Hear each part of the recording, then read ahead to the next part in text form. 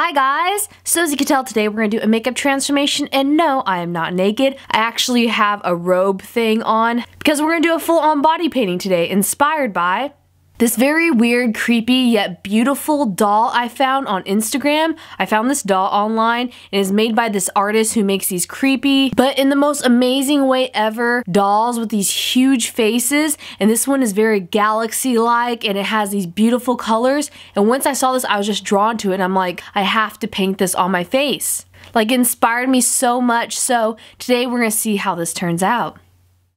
So first of all, I'm going to put my hair in a wig cap because we are definitely going to put on a wig later. Put some bobby pins on there so that the wig stays secure on our head.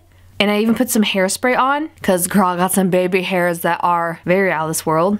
And then I'm to get an Elmer's glue stick and start blocking off my eyebrows so that we could paint on them later and then let that get tacky and then do a layer of powder. And depending on how thick your eyebrows are, you may want to do like three or four layers of this. And in between the layers of my eyebrows drying, I'm going to get a white eyeliner pencil and draw on the nose, the eyes, and where I want the mouth to be.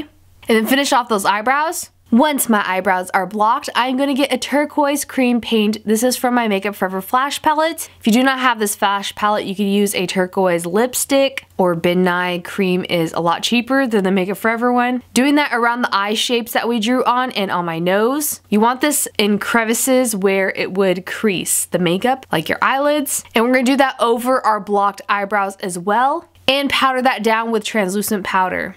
Because the next type of paint that we are going to get is an aqua paint that matches this color of cream. We did the cream color first to match this color because the aqua paint will break down our blocked eyebrows that we did and it will crease a lot more than the cream paint will in like the eye area. I left parts of my chin not painted because this alien like doll thing has a totally different face shape than me. Make sure to paint this all across your face and in your ears. And I'm even to paint on my neck a lot thinner than my natural neck is because we're to block off the rest of our shoulders later because this alien has a lot thinner neck and smaller body with a bigger proportioned head than I do. You can paint all your shoulders if you want to. You do not have to paint your body to look smaller like I'm doing here. Then I'm gonna get some cream yellow paint and paint on in those circles where our eyes were traced on before. These eyeballs are gonna be under our natural eye, more on our cheekbone, and they're gonna be a lot wider apart than our natural eye is. I think this is one of the things I loved about this doll when I first saw it. And you want to make sure you powder down each makeup step you do, so I'm powdering the yellow eyes as well. Then I'm getting some silver paint with a stipple sponge and painting between my natural eyebrows and on my ears. You really want to look at the reference picture. Honestly, you could do any creepy doll you want, but I chose this one. And then I made this Kelly green color using green and yellow cream paint, mixing it together to use it on a stipple sponge to make that galaxy-like forehead that this doll has. I love how it has airbrush effect, but this is more texturized. And you want to do this in areas that it shows on the picture.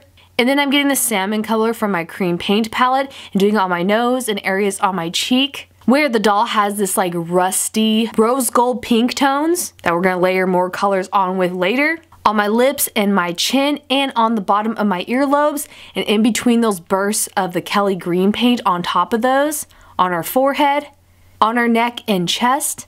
I love how this is starting to look like a coral reef underwater with these beautiful colors. And then I am going to powder that down with some translucent powder, getting some more silver paint in the middle of that forehead area with my fingertips and patting it on there just to make it more brighter. Doing some blue streaks in between that to give it more detail. Then I got this blue lipstick and did some texture over those bursts of paint on her forehead that we did powdering that down with translucent powder and doing white over the blue paint on her forehead and detailed spots on other parts of the face and that nose.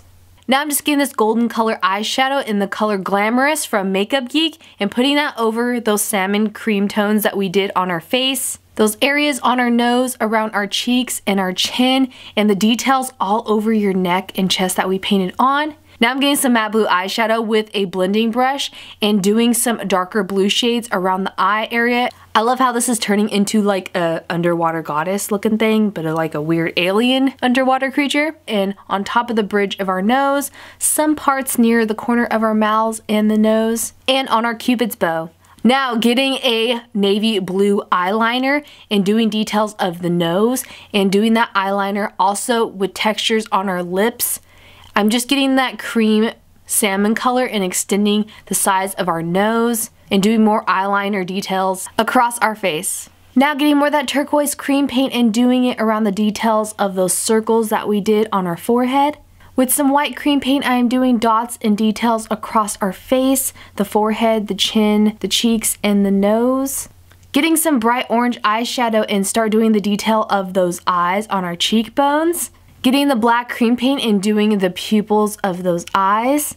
Then I got some blue cream paint and started doing details around the eyes, giving it like that hooded eye look. It's to be in like the corner of our eyes, but above the eyes we drew on and around our mouth as well. And our chin, because the chin on this creature is a lot smaller than mine. Then with the blue cream paint, I am also doing details of like different shapes on my chest that look like barnacles. This totally reminds me of like the underwater scenes in Finding Nemo or something. Getting the turquoise paint and doing dots around our face with detail and painting the cupid's bow on our face turquoise as well.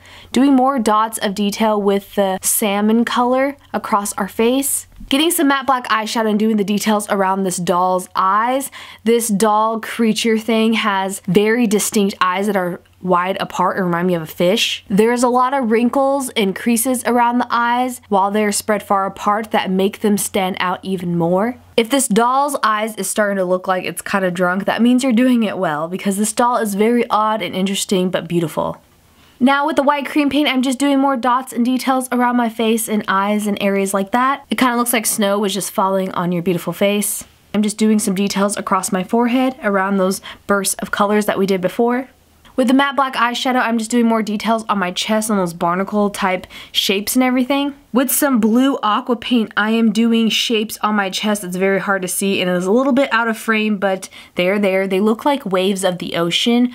Now I got more of that golden eyeshadow color and put that over those salmon colors on my cheeks and a little bit on my chest as well. Got some more black eyeshadow and deepened the details around the eyes. Got some golden cream paint and stippled that across my face in areas that we did that peachy salmon color and across my chest as well. Did the details on there with some matte blue eyeshadow too. You really want it to look oceanic with deep tones of dark blue with gold mixed in. Now once you think you have enough detail and texture on this doll's face and neck and chest, you're going to get some black aqua paint with a paintbrush and paint in the bare areas of your shoulders to make this doll's head look humongous and its shoulders and body and neck that we painted on very small and petite and little. This will give the head a very bulbous looking doll-like look that we want. You do not have to paint your body and your shoulders with this black paint if you don't want to. I just did it to blend in with the black background a lot better to make it look more animated and more like the doll.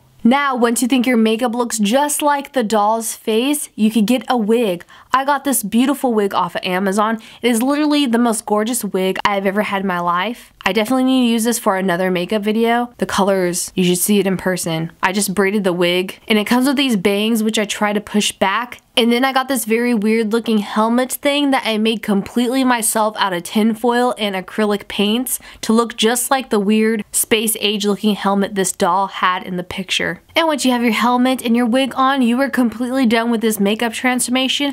I absolutely love how this turned out. It kind of reminds me of something that was inspired by Vincent van Gogh, especially when I originally saw the picture of this doll. I think I did pretty well to the original of the doll, except I wish I could extend my earlobes. I tried to make effects earlobe prosthetics, but it wasn't turning out how I wanted it, but I still think this looks beautiful. I love all the variations of colors, and I hope you guys enjoyed it as well.